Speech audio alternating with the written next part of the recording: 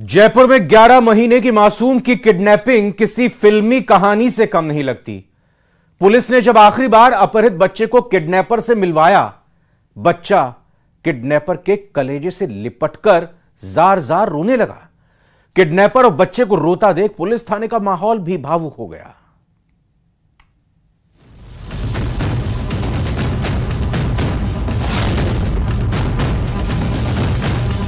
किसी समाज का हिस्सा बन के नहीं रह रहा था।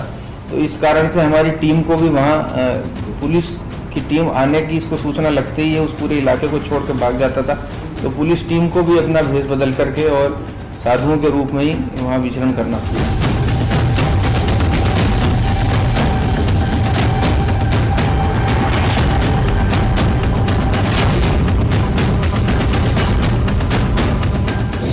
वृंदावन में सुलझी किडनैपिंग की गुत्थी। साधु बनकर मात दे रहा तनुज चाह।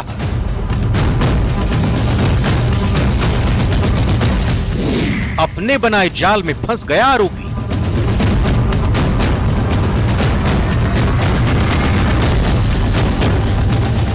करीब एक साल पहले कुक्कू को किडनैप करने वाला यूपी पुलिस का सस्पेंडेड हेड कांस्टेबल तनुज चाह साधु के भेष में पुलिस को एक साल से धोखा देता रहा। लेकिन जयपुर पुलिस ने तनुज को उसी के जाल में फंसा दिया और साधु के भेष में पुलिस की तीन सदस्यीय टीम ने कई दिनों की कड़ी मशक्कत के बाद उसे गिरफ़्तार कर लिया। ये भूतपूर्व सर्विलांस टीम का सदस्य रह चुका है। तकनीकी रूप से बहुत कुशल है। मोबाइल फ़ोन का इस्तेमाल ना के बराबर करता है।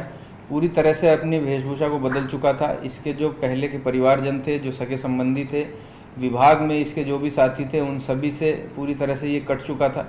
किसी को इसके होने की सूचना नहीं थी। गाँव में भी जहाँ अगर कहीं इसने पनाह ली तो दोबारा कभी उस जगह पे ये जाता नहीं था।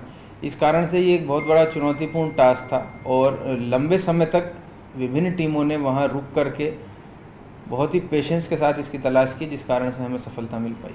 तो वजह क्या है? वजह क्या है सफ़र इसकी जो मुख्यतः जो अनुसंधान से वजह सामने आई है वो ये है कि ये जो पीड़िता है तनुज, जो मुख्य अभियुक्त है, उसके मामा का लड़का है। जो घटना का दिन था, उसको ये यहाँ आया था और जो परिवादिया है, उसको भी साथ चलने के लिए, मजबूर करने की इसने प्रयास किया, जिस पर उसके द्वारा विरोध किया गया और उसका जो भाई है, जो पास में रहता है, उन्होंने आकर के इनको रोकने की कोशिश की और उस कश्मकश में इसके भाई को गंभीर रूप से इसने और इसके साथियों ने, अभियुक्त ने और इसके साथियों ने गंभीर रूप से घायल भी कर दिया।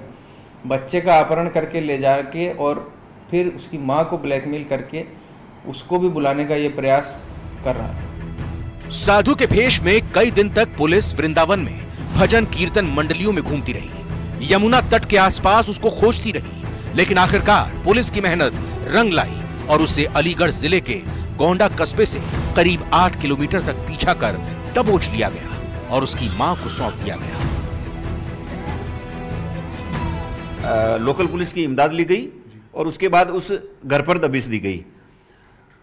किसी ने जब हमारी टीम स्कूल में थी तो आरोपी तनुज चाहर को किसी ने फ़ोन पे सूचना दे दी। तो जैसे हमारी टीम ने दबिश दी, उससे करीब दस मिनट पहले बच्चे को लेकर के वो पैदल ही भाग निकला। क्योंकि वो यूपी पुलिस में हेड कांस्टेबल रहा था, बहुत तेज तरार था तो आनंद फानन में वो घबराया हुआ भाग निकला। तो हमारी टीम ने उसका पीछा किया। वो करीब सात आठ किलोमीटर खेतों में बच्चे को गोदी में लिए हुए भागता रहा। तो हमारी टीम ने उसका बहुत शानदार तरीके से पीछा किया। बच्चे को जिस वक्त उसकी माँ को सौंपा जा रहा था, उस दौरान हैरान करने वाली तस्वीर भी सामने आई। आरोपी तनुज चाहर की गोद से जब बच्चे को लिया गया तो वो रोने लगा। इतना ही नहीं, आरोपी की आँखों से भी आँसू आ गए। बच्चे को चुप करने की कोशिश भी की गई, लेकिन वो आरोपी की तरफ़ इशारा करते हुए रोता रहा। पुलिस की माने तो आरोपी ने एक तरफा प्यार में इस वारदात को अंजाम दिया था। पुलिस को चकमा देने की सभी तकनीकों से वो बखूबी वाकिफ था और उनका इस्तेमाल लगातार खुद को छुपाने के लिए और बच्चे को छुपाने के लिए कर रहा था। सूचना से एक टीम को ये ज्ञात हुआ कि जो तनुज है, वो एक साधु के भेष में यमुना तट पर कुटिया बना करके रहता है और बच्चे के जीवित होने की भी आसूचना हमें प्राप्त हुई थी। जिस पर अभी हाल ही में एक विशेष टीम जिसमें ASI Prem Lokesh head constable cyber cell उपायुक्त कार्यालय से और राजेश कांस्टेबल थाना मुहाना से।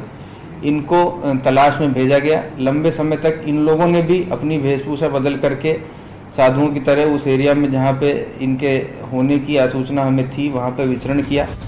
करीब दस दिन पहले पुलिस को तनुज चाहर के वृंदावन में साधु के भेष में होने की जानकारी मिली। लेकिन जयपुर पुलिस के वृंदावन में होने की जानकारी मिलते ही वो वहाँ से भाग निकला। लेकिन पुलिस ने पूरी शिद्दत के साथ एक एक जानकारी इकट्ठा की और कुक्कू को बरामद करने में सफलता हासिल कर ली। विष्णु शर्मा, न्यूज़ 18 राजस्थान।